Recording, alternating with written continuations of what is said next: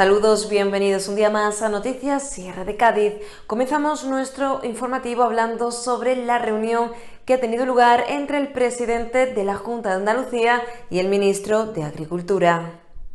Eh, acaba de terminar una reunión, una reunión eh, entre el ministro y el presidente de la Junta de Andalucía, a la que hemos asistido yo como consejera de Agricultura Ganadería, Pesca y Desarrollo Sostenible, el secretario general, tanto del Ministerio como el secretario general de la Consejería y la propia delegada del Gobierno. En primer lugar, quiero destacar, en nombre de todo el Gobierno, pues agradecimiento al ministro, al Ministerio, por esta reunión. Considero que era importante y que además hoy es un día importante también para el tema agrario y, por tanto, esa vía de diálogo que se abre pues tras la celebración de este encuentro entre el Gobierno de España y la principal comunidad perceptora de los fondos de la PAC. Y, por tanto, quiero encuadrarlo en ese lugar y, por tanto, agradecer esa vía de diálogo que es fundamental para los intereses de los agricultores y ganaderos de toda España, evidentemente, pero también de nuestra comunidad autónoma.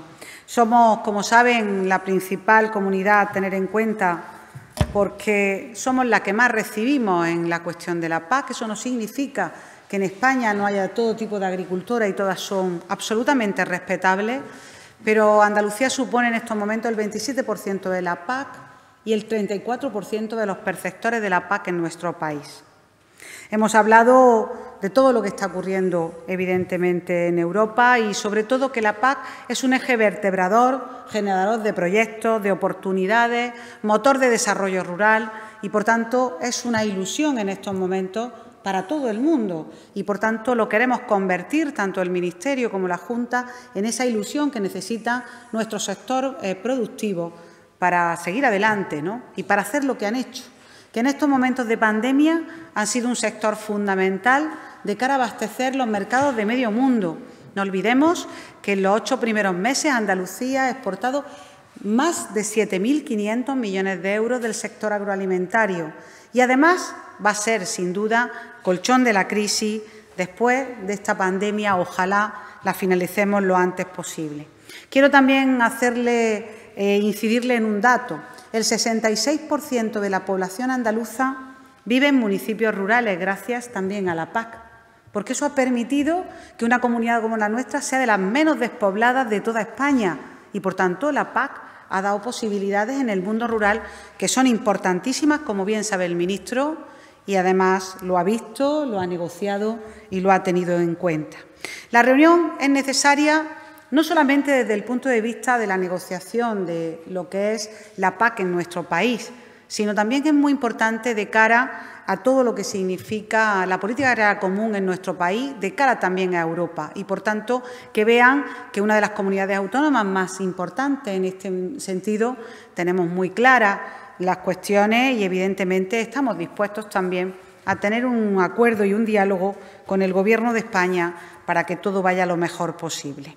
Como saben, Andalucía partió de una declaración institucional, la declaración institucional que se hizo con las organizaciones agrarias y cooperativas, a las que en este momento le agradezco especialmente ese esfuerzo que han hecho, porque no era fácil que todos se pusieran de acuerdo en torno a una declaración institucional que nos sirva de guía al Gobierno de Andalucía y, evidentemente, que sirva de guía pues, al propio sector. En este sentido, decir que el presidente de la Junta de Andalucía ha estado siempre presente en los momentos más importantes de la agricultura, en estos momentos, y ha estado presente en esa declaración institucional y, por supuesto, totalmente informado de las circunstancias de esta política agraria común. Le hemos mostrado al propio ministro la preocupación que tiene el sector. El presidente, como siempre, ha tendido la mano para diseñar una buena PAC para nuestro país y para Andalucía que permita mantener, y eso sí lo hemos dicho, el statu quo que tiene nuestra comunidad autónoma y amortiguar las circunstancias que puedan sobrevenir en estos momentos dificultosos de la pandemia. El campo andaluz, también quiero decirle que es un campo andaluz dinámico. Hay en Andalucía de todo tipo de agriculturas y la agricultura de Andalucía no es inmovilista. Está totalmente de acuerdo en que existen cambios en la política agraria común, que tienen que ver con la arquitectura verde de la nueva PAC y que están dispuestos a asumirlo, siempre que desde luego no sea más eh, eh, requisito y exigencia para menos recursos, con menos recursos, porque eso significaría que nuestra agricultura no sería una agricultura, en este caso, competitiva. Y desde luego queremos que lo siga siendo, incluso que lo sea más.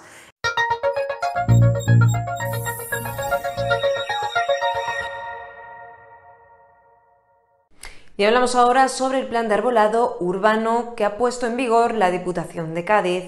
Pues hoy venimos a anunciar la propuesta de adjudicación a los municipios del plan, Provincial del Arbolado de 2020-2021 como bien sabéis, pues desde esta Diputación uno de los objetivos principales es apostar por el medio ambiente, la jardinería como herramienta indispensable para el desarrollo socioeconómico de nuestra provincia y en ese sentido, optimizando nuestros recursos, pues llevamos a cabo diversas colaboraciones tanto con colectivos sociales como con los distintos colegios profesionales de la provincia. Además, pues este plan se realiza como una subvención de materia vegetal a los distintos municipios de la provincia a petición de esto con el fin de ornamentar sus calles, plazas y parques y vías públicas, eh, prestando además un asesoramiento técnico y seguimiento de las plantaciones a los distintos municipios adjudicatarios. El material vegetal, como sabéis, pues procede de los distintos viveros provinciales de la Diputación, ubicados actualmente en Villamartín y en Jerez de la Frontera.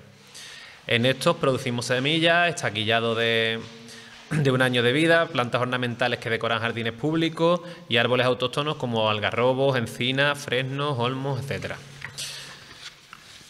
Somos conscientes de la necesidad de seguir apostando por el mantenimiento de ciudades sostenibles, por ello tenemos que seguir potenciando este tipo de iniciativas. Pese a los esfuerzos, el aire sigue estando contaminado y por diversos compuestos eh, que pueden causar daños graves a la salud. En este sentido, la vegetación urbana pues, es necesaria para retener contaminantes atmosféricos y sirven para moderar el microclima, contribuyendo a la presencia de vida en el estéril mundo del hormigón y el asfalto de nuestras ciudades. Una de las contribuciones más importantes de la vegetación a nuestro entorno es la producción de oxígeno y la absorción de, dióxido de carbono, CO2, del aire a través de la fotosíntesis, el proceso básico para la supervivencia. Por eso la vegetación actúa como uno de los principales sumideros de CO2, disminuyendo las concentraciones en la atmósfera de este gas de efecto invernadero, contribuyendo así al aumento de la, que contribuye a su vez al aumento de la temperatura de media global, eh, lo que conocemos como calentamiento global. Es fundamental potenciar nuestros sumideros naturales de carbono y a la vez pues, generar nuevas maneras prioritarias mediante una adecuada planificación para la creación de nuevas zonas verdes en nuestras ciudades. En este sentido, fomentamos el uso de plantas bioacumuladoras que ayuden a mitigar los efectos del cambio climático y a su vez pues, que defendamos la necesidad de disponer de áreas, jardinadas en las ciudades y pueblos. Con el Plan Provincial del Arbolado Urbano lo que venimos a hacer es colaborar ayudando y asesorando a la gestión de la flora urbana y asegurando su existencia y continuidad a nuestros distintos municipios, subvencionando y poniendo material vegetal a disposición de los mismos, para el cumplimiento de estos fines desarrollando actuaciones encaminadas a la mejora de la imagen urbana y a la calidad de vida de los ciudadanos. Como antecedentes, destacar que el plan del arbolado urbano viene funcionando desde 1996 y que en total desde entonces se han, se han suministrado aproximadamente 900.000 ejemplares entre árboles y arbustos.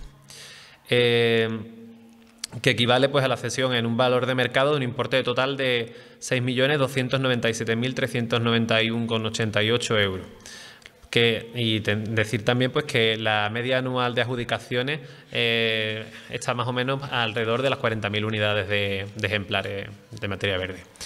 Con respecto al plan 2020-2021, decir que se solicitaron 57.737 ejemplares entre árboles y arbustos, que es una cifra un tanto menor con respecto a la anterior anualidad, pero que teniendo en cuenta las circunstancias vividas con la pandemia, pues creemos que, los municipios han hecho su trabajo y sus esfuerzos y que vienen siguiendo en, la misma línea de colaboración y de interés y valoración de este plan que venimos desarrollando. En cuanto a los criterios de adjudicación, se han tenido en cuenta, como en ediciones anteriores, el estudio detallado de la petición en base a los requerimientos establecidos en el programa, la verificación in situ de la idoneidad de la infraestructura de las ciudades, la existencia en vivero de las especies y características solicitadas, la diligencia y capacidad de gestión en la tramitación de expedientes en anualidades anteriores, la posibilidad de mantenimiento de las plantas solicitadas, el interés medioambiental de las propuestas presentadas, el valor económico del material vegetal a entregar a los peticionarios, la adaptación de la actuación a las disposiciones normativas que sean de aplicación y la compatibilidad con las políticas ambientales de ámbito europeo, estatal y autonómico que pueden tener una incidencia clara sobre el proyecto a ejecutar. En cuanto a las adjudicaciones, decir que las unidades adjudicadas han sido un total de 38.125 ejemplares, de las cuales 6.075 unidades son árboles y 32.050 son arbustos. El importe de mercado de esta cifra de adjudicación equivale a 321.967,51 euros. Y los ayuntamientos beneficiarios pues son 51 eh, siendo 44 los municipios, 5 pedanías y 2 organismos externos.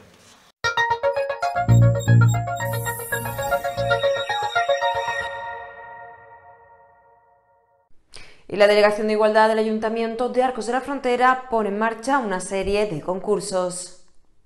El próximo día 25 de noviembre es el Día Internacional de la Eliminación de la Violencia contra las Mujeres y es por ello que desde el Ayuntamiento de Arco vamos a poner en marcha distintas iniciativas.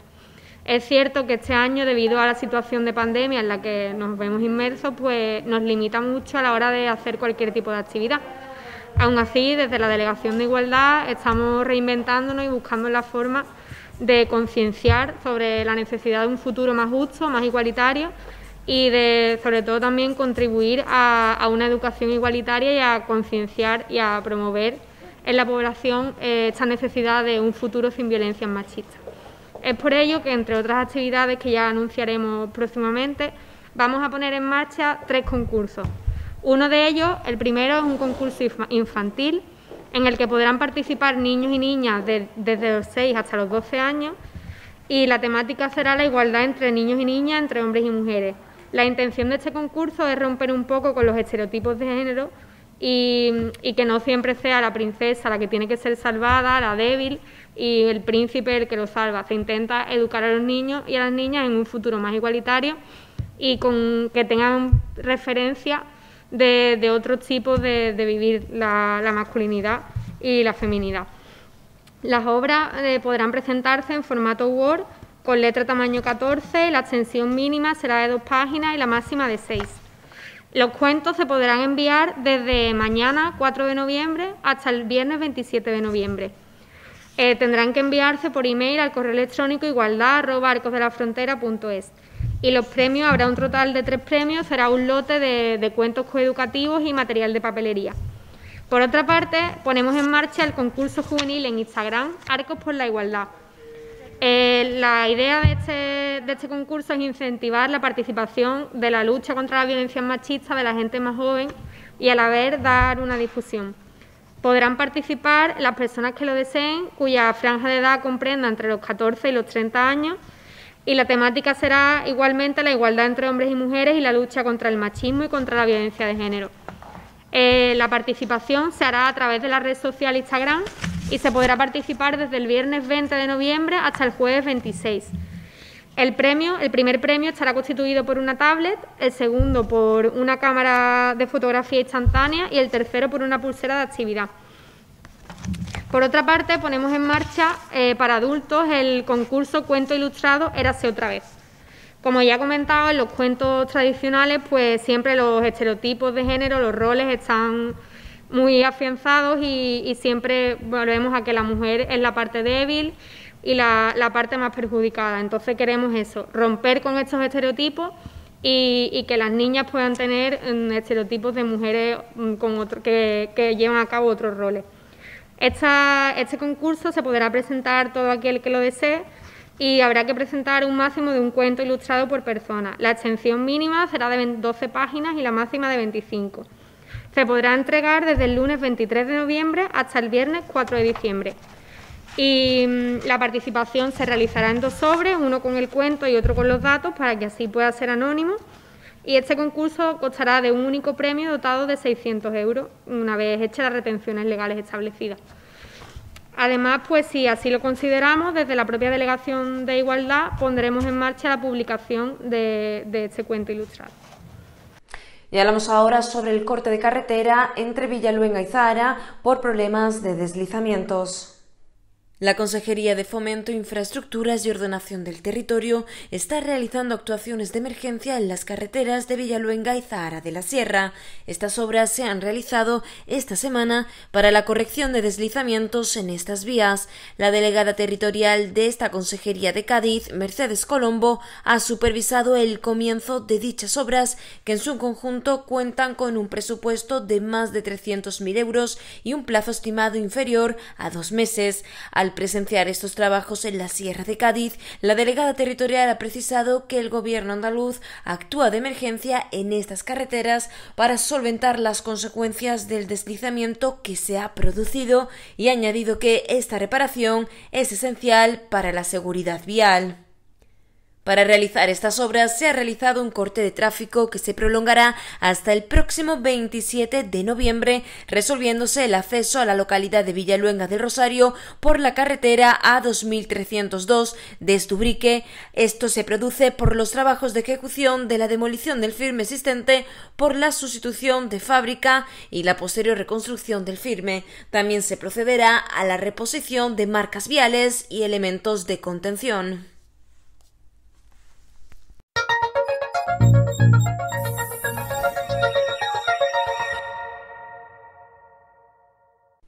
Y vuelve por quinto año consecutivo el concurso fotográfico del yacimiento de Ocuri en Ubrique.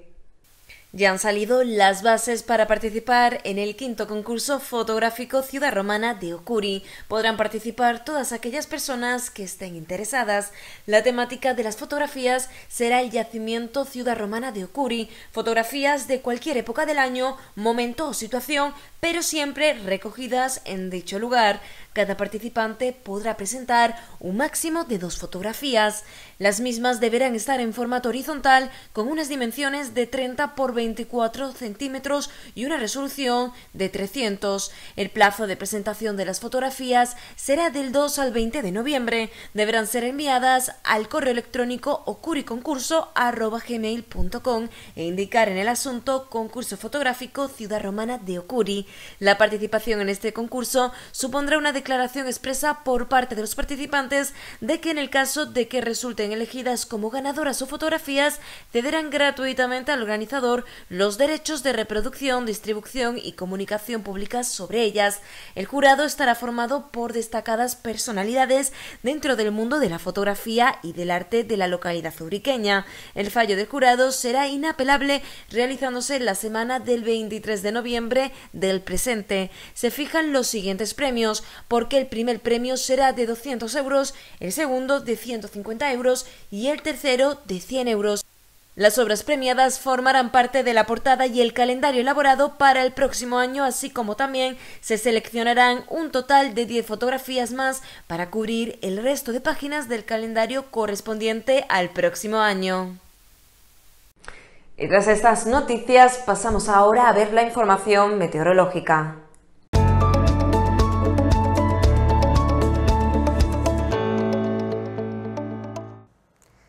Hola, ¿qué tal? Este miércoles será una jornada de tiempo complicado en algunas zonas con una borrasca en el suroeste asociada a aire frío en altura y también con aportación de humedad de viento del este. Dejará precipitaciones en amplias zonas, nevadas y también un nuevo descenso térmico. Miramos primero las precipitaciones, unas precipitaciones sobre todo durante la jornada en el este y en el sur peninsular, también en el Cantábrico que se irán extendiendo a zonas del centro también de la península. También tendremos precipitaciones en Canarias, sobre todo en el norte de las islas más montañosas. En 12 horas en el litoral eh, de Valencia y en el litoral sur de Castellón se podrían acumular más de 100 litros por metro cuadrado. En el este de Castilla-La Mancha, sur de la Comunidad de Madrid, se podrían acumular en 12 horas más de 40 eh, litros por metro cuadrado y en el oeste de Andalucía en una hora se podrían acumular más de 20 litros por metro cuadrado. Este miércoles también será una jornada, como hemos dicho al principio, con eh, nevadas, nevadas sobre todo a primeras horas en áreas próximas a la Ibérica y en los Pirineos, cota en la Ibérica entre los 900 y 1100 metros, en los Pirineos en los 1200 y nevadas que eh, podrían acumular más de 10 centímetros de nieve, unas cotas que subirán a partir del mediodía. Una situación complicada, una situación que nos deja varios avisos activos de color amarillo y naranja, así que nosotros os recomendamos estar atentos y seguir la actualización de esos avisos en la página web aemet.es. En el mapa de superficie vemos la borrasca en el eh, suroeste que dejará ese tiempo complicado con ese, también ese aire frío en altura y el eh, viento que aportará, el viento del este que aportará humedad desde el Mediterráneo. Situación, como vemos, eh, de cielos nubosos, de precipitaciones en amplias zonas de la península, siendo localmente más fuertes y persistentes, sobre todo en la comunidad valenciana, en el oeste de Andalucía, con viento del norte a primeras horas, dejando eh, o rachas fuertes y olas que podrían superar los 3 eh, metros de altura en el Empurdá y también esas precipitaciones en el archipiélago canario. De cara a la tarde esas eh, precipitaciones también se extenderán llegando de una forma más débil al este de Castilla y León, también de una forma más débil en el Cantábrico, norte de Galicia, irán remitiendo allí, pero seguirán en el resto de la península, localmente más fuertes y persistentes en la comunidad, valenciana, en la zona centro, en el oeste de Andalucía, con eh, también olas en el litoral eh, gallego que podrían superar los 4 o 5 metros eh, de altura, viento del este y del nordeste que dejará últimas horas en la Mariña rachas que podrían superar los 80 kilómetros por hora y en el litoral de la comunidad valenciana rachas de viento del este y del nordeste que podrían dejar olas de más de 3 metros de altura, igual que en Ibiza y en Formentera, también precipitaciones por la tarde en el archipiélago canario. Vamos con las temperaturas, unas temperaturas que van a bajar en prácticamente todo el país, de una forma más notable las máximas en el eh, sur, en el interior sur y en el este también de la península, con eh, valores máximos de 13 grados en Bilbao, de 10 en Madrid, de 17 en Badajoz, de 19 en Sevilla, 22 en Murcia o 21 en Palma. Y acabamos diciendo que de cara a la jornada del jueves seguirán las precipitaciones, no siendo eh, tan intensas, serán menos intensas esas precipitaciones con temperaturas que subirán en el norte de la península. Esto es todo, nosotros lo dejamos aquí. Si desea más información, no duden en consultar nuestra página web.